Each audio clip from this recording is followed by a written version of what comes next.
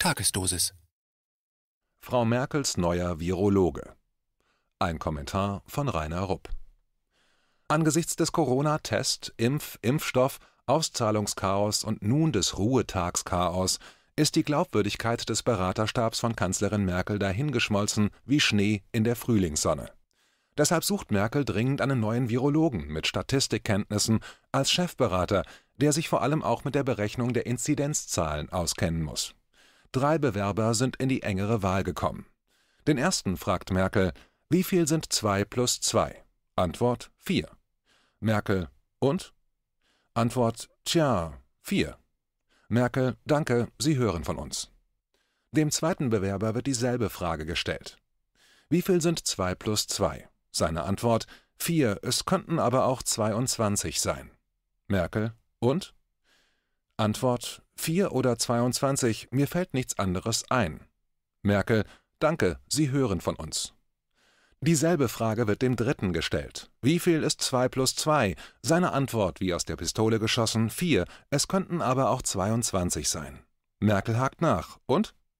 Nach kurzem Zögern fügt der dritte Kandidat hinzu, 2 plus 2 könnten auch 5 sein, wenn Sie es so wollen. Wer bekam wohl den Job? Nach dieser kleinen, unsere Corona-Zeiten reflektierenden Anekdote wollen wir uns einer wahren Geschichte zuwenden, die ist vor 222 Jahren passiert und deren Parallelen zur aktuellen Corona-Bekämpfung sind nicht zu übersehen. Auch damals folgte man der Wissenschaft und war überzeugt, dass es besser war, irgendetwas zu tun, als nichts zu tun, auch wenn man durch sein Handeln tödlichen Schaden anrichtet George Washington war von 1789 bis 1797 der erste Präsident der Vereinigten Staaten. Am Abend des 12. Dezember 1799 erkrankte der damals 67 Jahre alte Washington, der sich gerade glücklich aus dem öffentlichen Leben zurückgezogen hatte, mit einer leichten Erkältung und Halsschmerzen. Am nächsten Tag verlor er seine Stimme und bekam Atemprobleme. Am Morgen des 14. Dezember schickte seine Frau Martha nach mehreren Ärzten und bat sie, auf das Anwesen der Familie am Mount Vernon zu kommen. Drei verschiedene Ärzte kamen und bereiteten einen Aderlass vor, um George Washington zu behandeln. Der Aderlass war zu jener Zeit eine beliebte und weit verbreitete Behandlung, bei der der Arzt versuchte, durch Abnahme einer größeren Menge von Blut die böse Krankheit aus dem Körper des Patienten zu entleeren. Jeder der drei behandelnden Ärzte nahm einen Aderlass vor. Doch als sich Washingtons Zustand trotz des hohen Blutverlustes nicht verbesserte, verdoppelten die Ärzte den Aderlass. Sie waren sich sicher, dass ihr Ansatz richtig war, denn das war damals der Stand der, im Vergleich zum Orient, primitiven Medizin des Abendlandes. Moderne Historiker schätzen, dass die Ärzte an diesem Tag 40 Prozent von George Washingtons körpereigenem Blut entfernt haben. Darüber hinaus gab ein Arzt Washington auch noch einen Einlauf und ein anderer eine Mixtur, um Erbrechen zu induzieren. Am Ende der Behandlung hatte George Washington also nicht nur unglaublich viel Blut verloren, er war auch dehydriert bzw. ausgetrocknet. Und dann kam es, wie es kommen musste. Sein Zustand verschlechterte sich weiter und nach weniger als 24 Stunden intensiver Follow-the-Science-Behandlung kam der große Schock.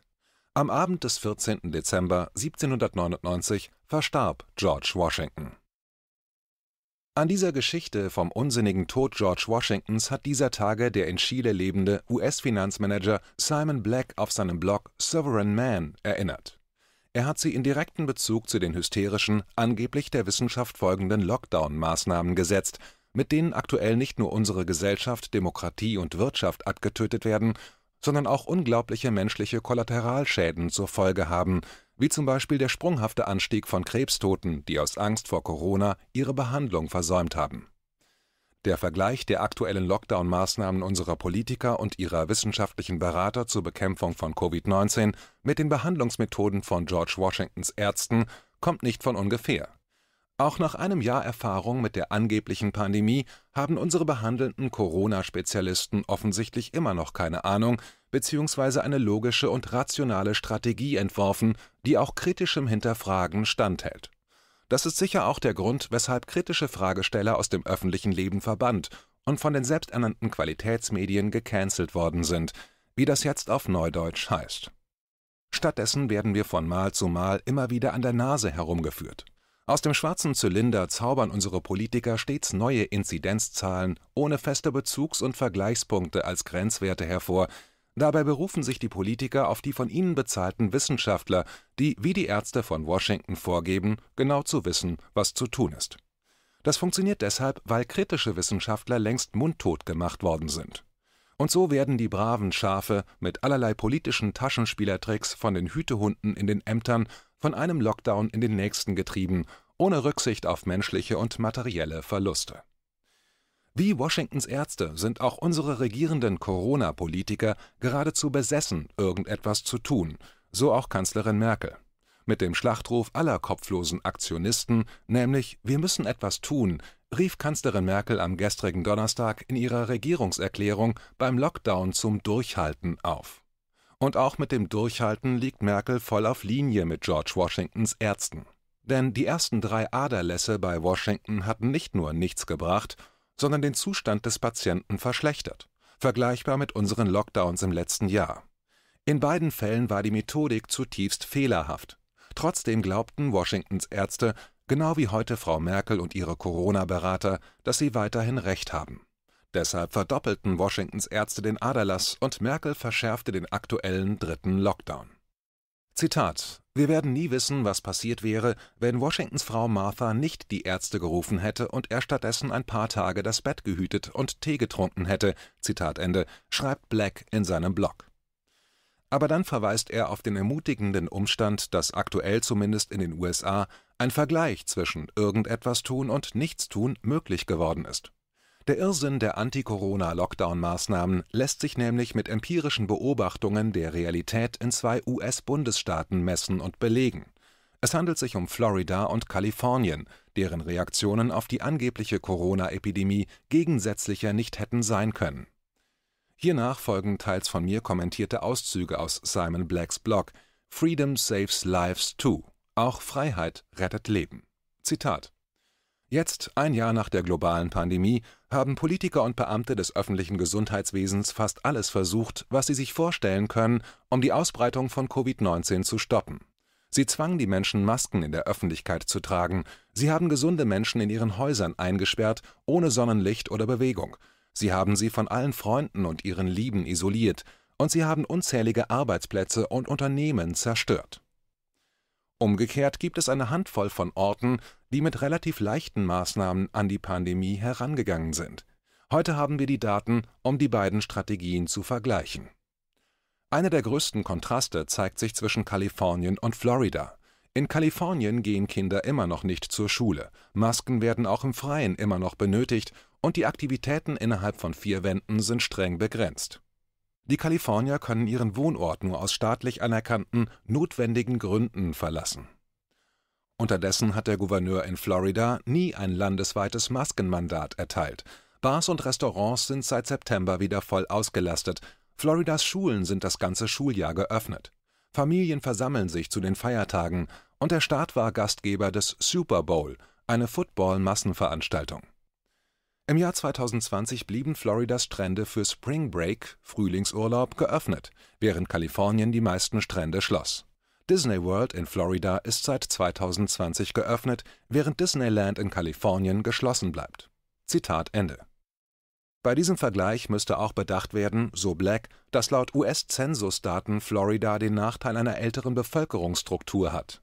20,9 Prozent der Einwohner in Florida sind über 65 Jahre alt verglichen mit nur 14,8 Prozent der Bevölkerung in Kalifornien.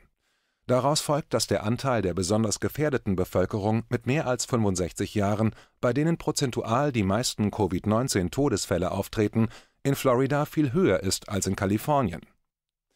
Weiter im O-Ton von Simon Black. Zitat Zugleich berichten seit Monaten unsere Feudalherren in den Medien, wie wunderbar und effektiv die harten Lockdown-Maßnahmen in Kalifornien und wie gefährlich die Dinge in Florida sind. Bei dieser Berichterstattung würde es leicht fallen zu glauben, dass die Covid-19-Fall- und Sterberaten in Florida dramatisch höher wären als in Kalifornien. Aber das entspricht nicht der Realität. Zitat Ende. Tatsächlich zeigen die Statistiken des US-Zentrums für Seuchenkontrolle (CDC) vergleichbar mit dem deutschen Robert-Koch-Institut (RKI), dass die Covid-19-Inzidenz und Sterberaten seit Beginn der Pandemie in beiden Staaten nahezu identisch sind. Zugleich ist Floridas Covid-19-Sterberate um satte 40 Prozent niedriger als im Bundesstaat New York, der auch als Musterschüler eines scharfen Lockdowns gilt. Das Fazit ist mit oder ohne Maske, mit oder ohne Bar- und Restaurantbetrieb, mit oder ohne Lockdown, mit oder ohne Sportveranstaltungen oder Demos, die Zahl der an Covid-19 Erkrankten und der mit oder an Covid-19 Gestorbenen ist umgerechnet auf 100.000 Einwohner in Kalifornien und Florida nahezu identisch. Der große Unterschied zwischen den beiden US-Bundesstaaten zeigt sich jedoch nicht nur in der weiterhin intakten Lebensqualität in Florida, sondern laut Black auch in den enormen wirtschaftlichen Auswirkungen der unterschiedlichen Corona-Strategien. Im Januar 2020 lag die Arbeitslosenquote in Kalifornien bei 3,9 Prozent, heute sind es 9,3. Im Januar 2020 lag die Arbeitslosenquote in Florida bei 3,3 Prozent, heute sind es 5,1 Prozent. Hauptsächlich wegen ausbleibender Touristen aus anderen Bundesländern und dem Ausland, ein Faktor, der bei Kalifornien weniger ins Gewicht fällt die durchschnittliche Arbeitslosenquote im Inland liegt bei 6,7 Prozent, sodass Floridas Arbeitsmarkt viel gesünder dasteht als der Durchschnitt. In Kalifornien gingen die Arbeitsplätze im Freizeit und Gastgewerbe um 30 Prozent und in Florida nur um 15 Prozent zurück. In Florida haben im Vergleich zu Kalifornien im letzten Jahr doppelt so viele Menschen ein Unternehmen gegründet. Vergleicht man das dritte Quartal 2019 mit dem von 2020, dann war laut dem staatlichen Amt für Wirtschaftsanalyse Bureau of Economic Analysis der Einbruch der wirtschaftlichen Aktivitäten in Kalifornien um ein Drittel stärker als in Florida. Diese Wirtschaftsdaten sind eindeutig. Kalifornien missachtete die bürgerlichen Freiheiten, verletzte die Verfassung, sperrte Menschen in ihre Häuser ein und lähmte ihre Initiative, zerstörte Unternehmen und verwüstete die Wirtschaft und Gesellschaft aber am Ende stellte sich heraus, dass die super harten Lockdown-Methoden keinen Unterschied gemacht haben.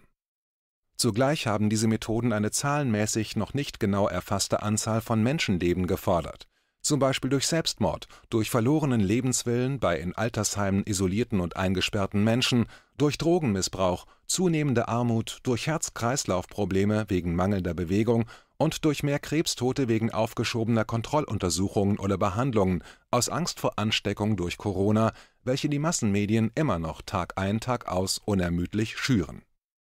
Schon vor knapp einem Jahr, am 30. April 2020, warnte der Deutsche Ärzteverlag GmbH Redaktion Deutsches Ärzteblatt unter dem Titel Zitat Tausende Krebstote mehr wegen Lockdowns erwartet. Zitat Ende unter Bezugnahme einer britischen Analyse unter Beteiligung des University College London (UCL) und der Forschungsstelle zu Behandlungsdaten für Krebspatienten DataCan wurde für Großbritannien erwartet, dass Zitat, „ in den kommenden zwölf Monaten wegen des Lockdowns in der Corona-Krise rund 20 Prozent mehr neu diagnostizierte Krebspatienten sterben als sonst in diesem Zeitraum. Infolge der zurückliegenden Diagnostik und Behandlung könnten es nun gut 6000 mehr Todesfälle werden Beziehe man alle derzeit mit Krebs lebenden Menschen ein, könnte die Zahl zusätzlicher Todesfälle auf etwa 18.000 steigen. Zitat Ende. Verglichen mit den im Jahr 2020 insgesamt 75.000 an und mit Covid-19 verstorbenen Briten sind 18.000 zusätzliche Krebstote keine unerhebliche Zahl an menschlichen Kollateralschäden dies umso mehr, wenn man bedenkt, dass laut einer Untersuchung des US Center for Disease Control nur etwa 6 Prozent der gemeldeten Covid-19-Toten ausschließlich an Corona gestorben sind. Die übrigen 94 Prozent litten im Durchschnitt an 2,4 schweren Nebenerkrankungen, wobei mit dem umstrittenen PCR-Test zusätzlich Corona-Spuren entdeckt wurden, weshalb ihr Tod als an und mit Corona registriert wurde eine ähnliche Entwicklung wie in England haben Ärzte und Wissenschaftler auch für Deutschland erwartet und vor einer „ Bugwelle an zu spät diagnostizierten Krebsfällen “gewarnt. Dieser Bugwelle scheint man sich jetzt auch vermehrt in Deutschland bewusst zu werden.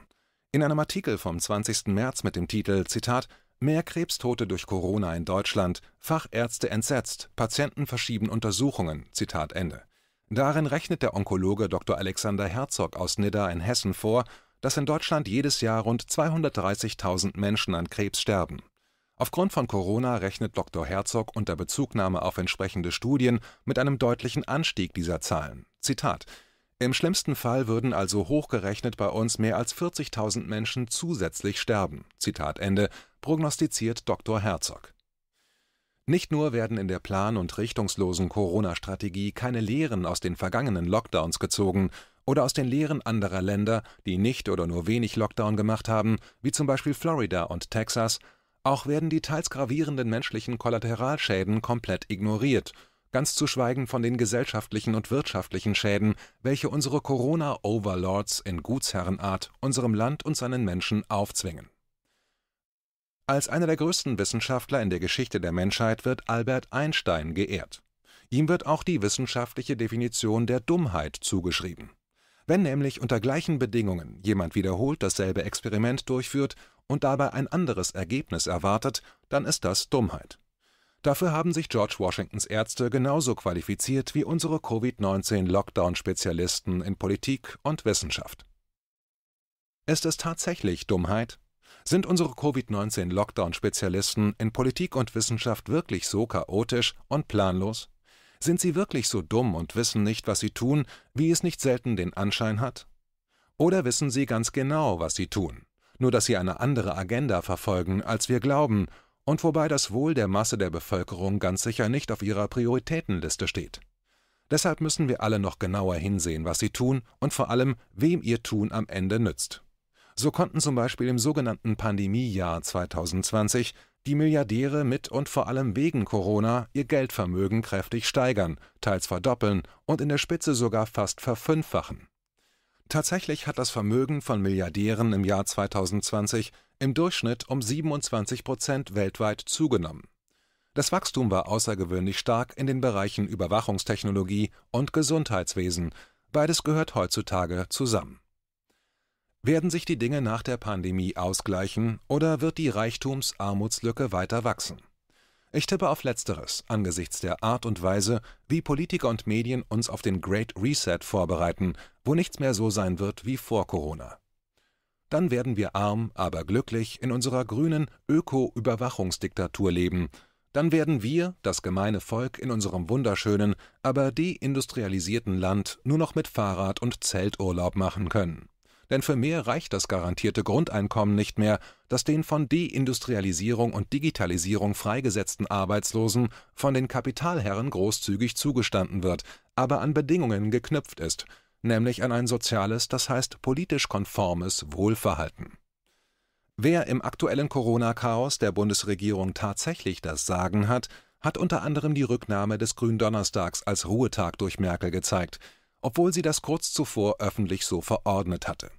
Sowohl die Verordnung als auch deren Rücknahme habe offensichtlich mit dem vorgeschobenen Schutz der Gesundheit wenig zu tun, erklärte der Vorsitzende der DKP in einer Presseerklärung vom 25. März, worin er weiter ausführt: Zitat Verkündet wurde die Rücknahme des freien Gründonnerstages nach einem Treffen der Kanzlerin mit der Automobilindustrie der Bundesverband der Arbeitgeber BDA verkündete, er habe sich nachdrücklich für die Aufhebung dieser rechtlich und organisatorisch höchst fragwürdigen und gefährlichen Erweiterung der Osterruhezeit eingesetzt.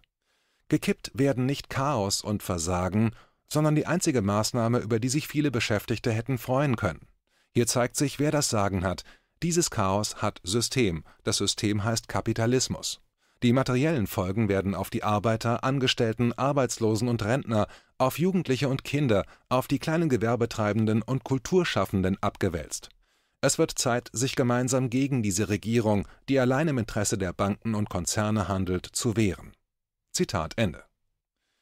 Aber das sind alles keine Themen für unsere Qualitätsmedien, denn die Medienkonzerne gehören denselben Leuten, denen auch die Banken und andere Industriekonzerne gehören.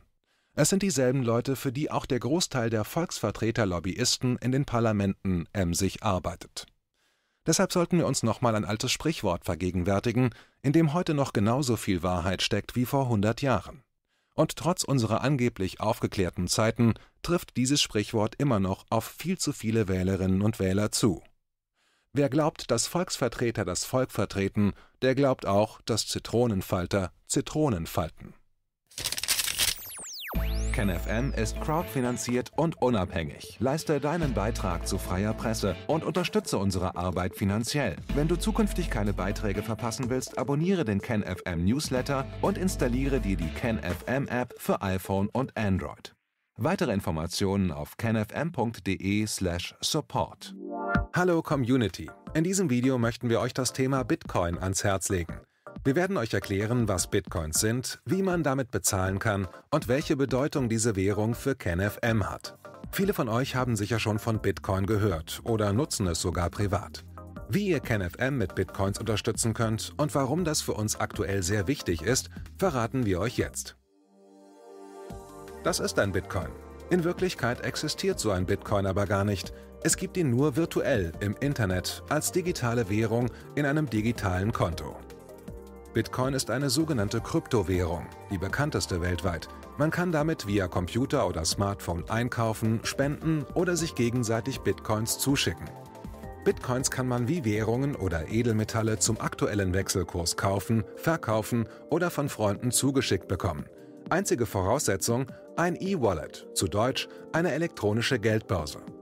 Das ist ein Account oder Konto, über das man Bitcoins empfangen oder versenden kann. Wie ihr wisst, nutzen auch wir bei KenFM schon seit ein paar Jahren Bitcoin, damit wir im Notfall auch finanziell unabhängig bleiben können, zum Beispiel von Banken, die uns nicht mehr mögen. Da viele Banken mit unserer Berichterstattung nicht einverstanden sind und nicht im Zusammenhang mit KenFM genannt werden möchten, kam es in den letzten Monaten so weit, dass uns gar keine Bank mehr mag. Weshalb wir leider damit rechnen müssen, vom kompletten IBAN-Zahlungsverkehr ausgeschlossen zu werden. Deshalb der Appell an euch, Beschäftigt euch jetzt schon mit der Funktionsweise von Bitcoin, damit ihr uns auch im Notfall trotzdem weiter unterstützen könnt. Alles, was ihr dafür tun müsst, ist, eure bisherige Unterstützung in Euro einfach in Bitcoin an uns zu senden. Dazu legt ihr einfach eine kostenlose E-Wallet an, wandelt einen Betrag eurer Wahl in Bitcoin um und sendet uns diesen an unseren Bitcoin-Account. Den Link findet ihr unter jedem unserer Beiträge sowie unter diesem Video. Alternativ dazu könnt ihr aber auch diesen QR-Code mit eurem Smartphone scannen.